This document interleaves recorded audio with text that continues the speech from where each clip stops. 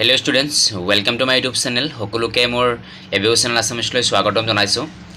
যিসকল ছাত্ৰ ছাত্ৰীয়ে দুহেজাৰ চৌব্বিছ চনত মেট্ৰিক পৰীক্ষা দিব ক্লাছ টেনত পঢ়ি আছে সেইসকল ছাত্ৰ ছাত্ৰীসকলৰ বাবে আজি মই তোমালোকৰ যিটো ক্লাছ টেনৰ সমাজ বিজ্ঞান আছে আৰু সেই সমাজ বিজ্ঞানৰ যিটো তোমালোকৰ ইতিহাস আছে আৰু ইতিহাসৰ যিটো তোমালোকৰ দুই নম্বৰ চেপ্টাৰ আছে মহাত্মা গান্ধী আৰু ভাৰতৰ স্বাধীনতা সংগ্ৰাম।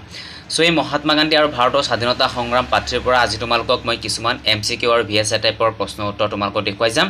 যিকেইটা প্ৰশ্ন উত্তৰৰ ভিতৰৰ পৰাই তোমালোকৰ দুহেজাৰ চৌব্বিছত মেট্ৰিক পৰীক্ষাত অহাৰ বেছি সম্ভাৱনা আছে। গতিকে ছাত্ৰ ছাত্ৰীসকল তোমালোকে ভিডিঅ'টো সম্পূৰ্ণ চোৱাৰ আগত যদি আমাৰ এই চেনেলটোত নতুনকৈ আহিছা তেতিয়াহ'লে চেনেলটো ছাবস্ক্ৰাইব কৰি ৰাখিবা।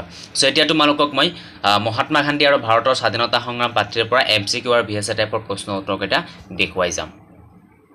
ছাত্ৰ ছাত্ৰীসকল ইয়াত চোৱা তোমালোকৰ আহিছে মহাত্মা গান্ধী আৰু ভাৰতৰ স্বাধীনতা সংগ্ৰাম চেপ্টাৰ টু ইতিহাস ইয়াৰ পৰা তোমালোকৰ প্ৰথমতেই এম চি কিউ টাইপৰ প্ৰশ্ন প্ৰশ্নটো হৈছে সত্যাগ্ৰহৰ ভিত্তি হ'ল। চাৰিটা অপশ্যন দিয়া আছে কিন্তু সত্যটো হ'ব অহিংসা। আৰু কোনটো গান কোনটো শব্দ গান্ধীজীয়ে দক্ষিণ আফ্ৰিকাত প্ৰথমে ব্যৱহাৰ কৰিছিল? উত্তৰটো হ'ব তোমালোকৰ সত্যাগ্ৰহ। ঊনৈছশ সোতৰ চনত ইতিহাসত কোনটো বিপ্লৱ সংঘটিত হৈছিল? এইটো এটা ইম্পৰ্টেণ্ট প্ৰশ্ন। ৰুছ বিপ্লৱ। পিছত দিছে সীমান্ত গান্ধী হিচাপে জনা যায়। মানে কাক জনা যায়? খান আব্দুল গফুৰ খানক জনা যায়। এইটো এটা ইম্পৰ্টেণ্ট প্ৰশ্ন। গান্ধীজীয়ে কৰিম কিম্বা মৰিম শ্লোগানটো কোনটো আন্দোলনৰ সময়ত দিছিল? ভাৰত ত্যাগ আন্দোলনৰ সময়ত দিছিলে এই মহাত্মা গান্ধী এই শ্লোগানটো দিছিলে। তাৰপিছত তোমালোকৰ আৰু প্ৰশ্ন আছে এইটো নালাগে এইটো এটা ইম্পৰ্টেণ্ট নহয়। যিকেইটা ইম্পৰ্টেণ্ট সেইকেইটাই তোমালোকক দেখুৱাই যাবলৈ চেষ্টা কৰিম। এনেই দি লাভ নাই। এইটো হৈছে মহাত্মা গান্ধীয়ে বেৰিষ্টাৰ উপাধি লৈ ভাৰতলৈ উভতি আহে। কেতিয়া উভতি আহিছিল? সেইটো এটা ইম্পৰ্টেণ্ট হয় একানব্বৈ চনত। জালিৱান বালাবাগৰ হত্যাকাণ্ড কেতিয়া হৈছিলে? মানে কেতিয়া উপস্থিত হৈছিলে? মানে আৰু কৈছে জালিৱান বালাবাগৰ অৱস্থিত হৈছিলে তোমাৰ গৈ পেলাই কি? হেৰি পঞ্জাৱত। দ্বিতীয় বিশ্বযুদ্ধৰ সময়ত ইংলেণ্ডৰ প্ৰধানমন্ত্ৰী আছিল। তোমাৰ ইংলেণ্ডৰ দ্বিতীয় বিশ্বযুদ্ধৰ সময়ত ইংলেণ্ডৰ প্ৰধানমন্ত্ৰী আছিলে আহ, ডিজৰেলি। তাৰপিছত গান্ধীজীৰ দাণ্ডী যাত্ৰা আৰম্ভ হৈছিল। এইটো এটা ইম্পৰ্টেণ্ট প্ৰশ্ন ঊনৈছশ ত্ৰিছ চনৰ বাৰ মাৰ্চত। গান্ধীজীয়ে কল্পনা কৰা গ্ৰাম্য স্বৰাজৰ মাধ্যম এইটো এটা ইম্পৰ্টেণ্ট নহয় এইটো নালাগে। অহিংসা নীতি প্ৰৱৰ্তন কৰা লোকজন আছিলে তোমালোকৰ হেৰি মহাত্মা গান্ধী। দক্ষিণ আফ্ৰিকাৰ এইটো নালাগে এইটো এটা ইম্পৰ্টেণ্ট নহয়। যিকেইটা ইম্পৰ্টেণ্ট সেইকেইটা দেখুৱাই যাম। ইয়াত দিছে দ্বিতীয় ঘূৰণীয় মেচমেল অনুষ্ঠিত হৈছিল। মানে কেতিয়া অনুষ্ঠিত হৈছিল দ্বিতীয় ঘূৰণীয় মেচমেল? ঊনৈছশ একত্ৰিছ চনত। মুছলিম লীগে যুক্তি আহ, মুক্তি দিৱস হিচাপে পালন কৰে কেতিয়া? উত্তৰটো হ'ব ঊনৈছশ ঊনচল্লিছ চনৰ বাৰ ডিচেম্বৰত। মোক তেজ দিয়ে মই তোমালোকক স্বাধীনতা দিম। উক্ত কথাফাকি কাৰ? এইটো হৈছে তোমাৰ সুভাষ চন্দ্ৰ বসু। এইটো এটা ইম্পৰ্টেণ্ট আৰু দিল্লী চালু এইটো নহয় এইটো বেছি ইম্পৰ্টেণ্ট নহয় এইটো নালাগে তোমালোকৰ। আৰু এয়া চোৱা ঊনৈছশ ঊনৈছ চনৰ তেৰ এপ্ৰিল এপ্ৰিলত জালিৱান ৱালাবাগৰ হত্যাকাণ্ডৰ থিতাতেই নিহত হৈছিল।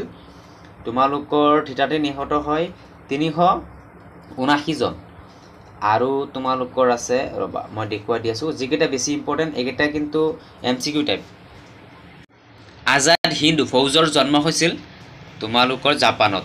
এতিয়া আহিছে অতি চমু প্ৰশ্ন মানে ভেৰি শ্বৰ্ট কুৱেশ্যন ইয়াৰ পৰা তোমালোকৰ বি এছ এ টাইপৰ কি আছে? ইয়াৰ পৰা তোমালোকৰ শিকিবলগীয়া আছে কোন চনত ৰাওলাদান গৃহীত হৈছিল? ঊনৈছশ ঊনৈছ চনত। এইটো এটা ইম্পৰ্টেণ্ট প্ৰশ্ন। কোনটো চনত জালিবান বালাগৰ হত্যাকাণ্ড হৈছিল? ঊনৈছশ ঊনৈছ চনত।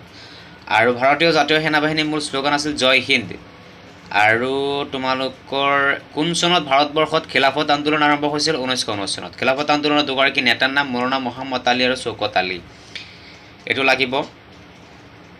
আৰু তোমালোকৰ লাগিব কোনে ইণ্ডিয়া ইণ্ডিপেণ্ডেন্স লীগ গঢ়ি তুলিছিল? ৰাজবিহাৰী বসুৱে। স্বতন্ত্ৰ লীগৰ জন্ম ক'ত আৰু কেতিয়া হৈছিল? ঊনৈছশ একচ একচল্লিছ চনৰ মাৰ্চ মাহত টকিঅ'ত। ভাৰতৰ স্বাধীন ভাৰতৰ প্ৰথমজন গভৰ্ণৰ জেনেৰেল কোন আছিল লৰ্ড মাউণ্ট বেটেন পাকিস্তানৰ প্ৰথম গভৰ্ণৰ জেনেৰেল কোন আছিল মহম্মদ আলী জিন্না। পাকিস্তানৰ স্বাধীনতা দিৱস কেতিয়া পালন কৰে? ঊনৈছশ সাতচল্লিছ চনৰ পোন্ধৰ আগষ্ট। গান্ধীজীৰ আৰউইন চুক্তিৰ মুখ্য উদ্দেশ্য কি আছিলে? কংগ্ৰেছৰ গৰুণীয়া মেজমেলক অংশীদাৰ কৰা? তাৰপিছত আছিলে তোমালোকৰ চোৱা জালিবান বলাবাগৰ হত্যাকাণ্ড এইটো ইম্পৰ্টেণ্ট নহয়। এইটো আগতে দিছোঁ আৰু। মিত্ৰশক্তিৰ অন্যতম এইটো নহয়। চৰি এইটো লাগিব। মিত্ৰশক্তিৰ অন্যতম সদস্য ৰাষ্ট্ৰখনৰ নাম কি? ইংলেণ্ড। কোনটো তাৰিখে ভাল গংগাধৰ তিলকৰ মৃত্যু হৈছিল। ঊনৈছশ বিছ চনৰ এক আগষ্ট। আৰু তোমালোকৰ লাগিব এইটো চোৱা আইন অমান্য আন্দোলন অনুষ্ঠিত কেতিয়াৰ পৰা আৰম্ভ হৈছিল? ঊনৈছশ ত্ৰিছ চনৰ মাৰ্চ মাহৰ পৰা। এইটো লাগিব। আৰু কোনে কিমান চনত সৰমতী আশ্ৰম পাতিছিল? মহাত্মা গান্ধীয়ে ঊনৈছশ পোন্ধৰ চনত গুজৰাটত সৰমতী আশ্ৰম পাতিছিল। এইটো লাগিব। পিছত লাগিব তোমালোকৰ আৰু আছে চাবা। কিমান কিমান তাৰিখে গান্ধীয়ে গান্ধীজীয়ে আৰউইন চুক্তি স্বাক্ষৰ কৰিছিল ঊনৈছশ একত্ৰিছ চনৰ পাঁচ তাৰিখে? এইটো লাগিব। বহুত গুৰুত্বপূৰ্ণ প্ৰশ্ন হয় এইটো। কেতিয়াৰ পৰা আইন অমান্য আন্দোলন আৰম্ভ হৈছিল। ঊনৈছশ চৌত্ৰিছ চনৰ বিছ মে'ৰ পৰা আইন অমান্য আন্দোলন আৰম্ভ হৈছিল।